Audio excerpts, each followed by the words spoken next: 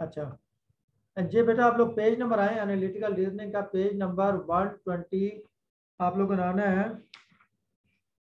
124 पे आए जरा।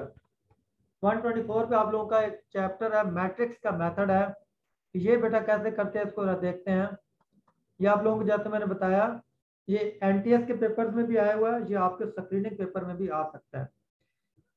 इसमें ये कहता है, ये सबसे एक आसान मेथड है कहता है, Rihan and Salman read magazine newspaper, Tania and Uzma read novel and poetry Salman and Tania read poetry and magazine, और Rihan and Uzma read newspaper and novel. अब ये उसने चार लाइनों के अंदर उसने आपको एक डिटेल दी है।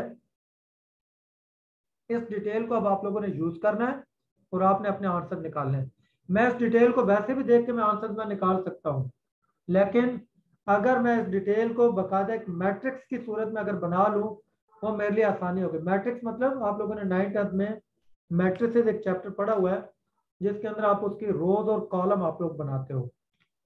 इसके अंदर आप इसकी रोज और कॉलम बनाओगे। मतलब ये सबसे पहले मैं इनके नाम लिख लेता हूँ। रेहान, सलमान,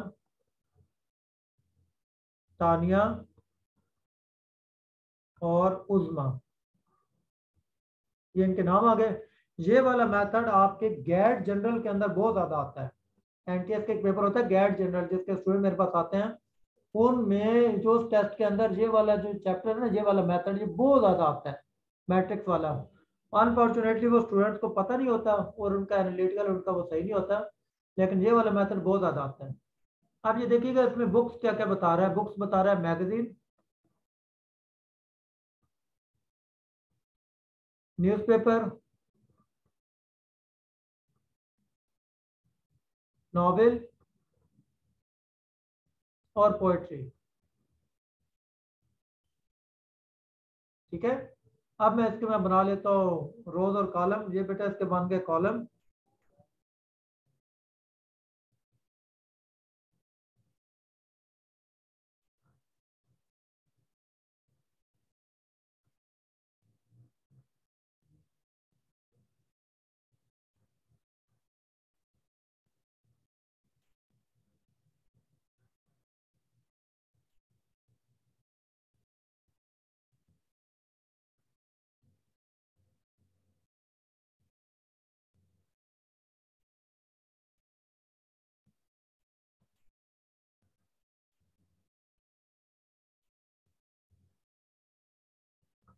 ओके।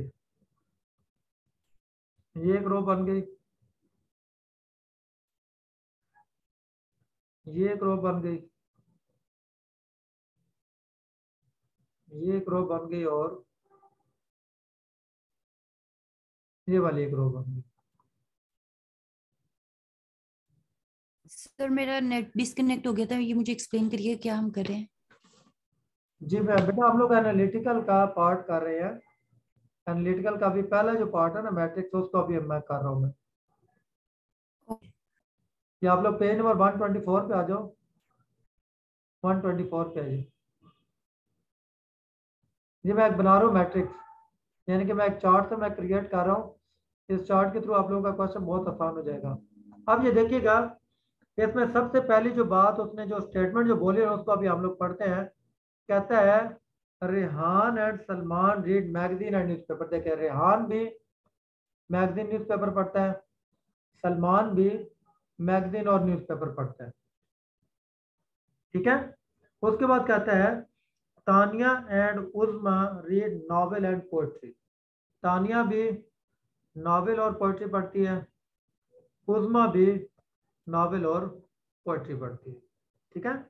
अच्छा उसके बाद कहता है, Salman and Tania poetry and magazine पढ़ते हैं। सलमान और Tania poetry magazine poetry magazine already tick mark है, इसको दोबारा नहीं करना। सलमान मैगजीन पोइट्री हो गया। तानिया भी मैगजीन एंड पोइट्री है। Magazine poetry already tick mark है, इसको दोबारा टिक मार्क नहीं करना। ठीक है? फिर कहता है, Rehan and Uzma newspaper and novel Rehan newspaper novel tick mark कर दें। Uzma novel already tick mark है आप इसमें से न्यूज़पेपर टिक मार्क कर ठीक है जी? मुझे बताइए आपको समझ आ गया? ओके क्लियर अब हम लोगों ने जब एक दफ़ा जब हम लोगों ने इसको एक दफ़ा जब हम लोगों ने इसको बना लिया मैट्रिक्स अब मैट्रिक्स बनाने के बाद अब हम लोगों ने इस मैट्रिक्स को देख के हमने अपने आंसर हमने निकालते जाने हैं। ठीक है? हमने इसको देख के अपने आंसर हमने इसको निकालते जाने। मतलब for example question number one देखेगा क्या कहते हैं। क्वेश्चन वन कहता है which one read novel magazine and newspaper इनमें से ऐसा कौन सा पर्सन है जो कि नॉवेल भी पढ़ रहा है मैगजीन पढ़ रहा है और न्यूज़पेपर पढ़ रहा है? कौन सा ऐसा पर्सन है? मुझे को बता सकते हैं? यानी कि किस का नॉवेल मैगजीन और न्यूज़पेपर टिक मार कौन है? कौन है? पहले का आंसर क्या है? हाँ जी बेटा बताएँ मुझे। सर उस्मा सरयान है। रेहान above. रेहान। ओके दूसरा क्वेश्चन दूसरे में कहता है one read novel magazine and poetry novel magazine और पोएट्री किसका टिक मार्क है?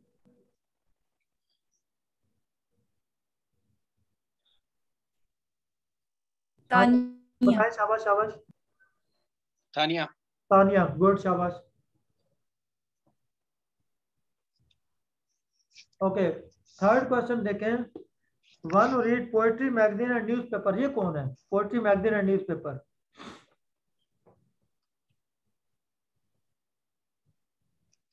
Salman Salman Salman sir good ये बच्चों में आप लोगों को दोबारा मैं बता रहा हूँ ये आप लोगों के इस तरह के क्वेश्चन स्क्रीनिंग में आने ही आने हैं पक्के आने हैं। लेकिन बस स्टूडेंट के कंसेप्ट क्लियर नहीं होगा और इस तरह के क्वेश्चन उनके फिर गलत हो सकते हैं। क्वेश्चन नंबर फोर में कहता है one who does not read poetry. Poetry कौन नहीं पढ़ रहा? रियान रेहान ने पढ़ा क्योंकि रेहान। देखें रेहान का पोएट्री टेक मारनी है तो रेहान। रेहान। आप लोगों के चारों क्वेश्चन के आंसर देखे बिल्कुल इजीली आ गए। अब इजीली आंसर आप लोग जी बेटा क्वेश्चन है। ये आंसर आप लोग तभी इजीली आप लोग निकाल सकते हैं जब आप लोगों को इसका बेसिक कंसेप्ट क्लियर होगा। अगर बेसिक कंसेप्ट क्लियर है, फिर कोई इश्यू नहीं अगर लेकिन बेसिक कंसेप्ट ही क्लियर नहीं है, फिर मेरे बेटा आप लोगों का हो सकता है इस चार्ट को बनाए बगैर भी सॉल्व हो जाए। लेकिन जो मेन चीज़ है जिसका हमेशा मैं कहते रहता हूँ, बेटा फिर आप लोगों का फिर टाइम बहुत ज़्यादा इसमें लग जाएगा। मेरा हमेशा जो फोकस होता है वो टाइम मैनेजमेंट पे फोकस होता है। आप लोगों को वो शॉर्टकट मेथड्स आप लोगों को बताऊँ शॉर्टकट तरीके बताऊँ, जिससे आप लोगों का टाइम ताकि कम से कम लगे। वन पेपर में अगर आप लोगों ने टाइम को मैनेज कर लिया पेपर बहुत अच्छा हो जाएगा। लेकिन अगर टाइम मैनेज नहीं हो तो पेपर हमेशा फिर सही नहीं होता। वन पेपर के में मेन चीज़ है टाइम मैनेजमेंट ठीक है? अच्छा अभी आप लोग एक काम करें। अभी आप लोग इसकी एक्सरसाइज नंबर टू मुझे सॉल्व करके दें। अभी बेटा उसको भी हम लोग फिर डिस्कस करते हैं, फिर हम लोग आगे पे लीनियर ऑर्डर की तरफ़ चलते हैं। ठीक है? मुझे एक्सरसाइज नंबर टू आप लोग सॉल्व करके दीजिएगा। बल्कि काम करते हैं, अभी हम लोग यहाँ पे हम लोग ना ब्रेक हम लोग करते हैं, ठीक है? अभी टू फिफ्टी फाइव हुआ ना थ्री हो है बेटा तीन बज के दस मिनट या तीन बज के पंद्रह मिनट तक हम इसकी ब्रेक कर लेते हैं।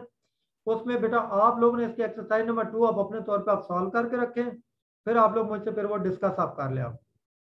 ठीक है ओके क्लियर ओके सर हाँ उसके बाद फिर हम लोग इंशाल्लाह लीनियर ऑर्डर की तरफ़ चलते हैं। आप बेटा आप इसके एक्सरसाइज नंबर टू आप इसके सॉल्व करके रखें।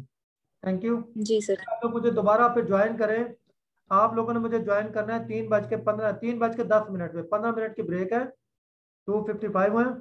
आपने बेटा मुझे काइंडली थ्री टेन पे आप लोगों ने सबने मुझे ज्वाइन कर लेना है। इसी लिंक पे। थैंक यू अस्सलाम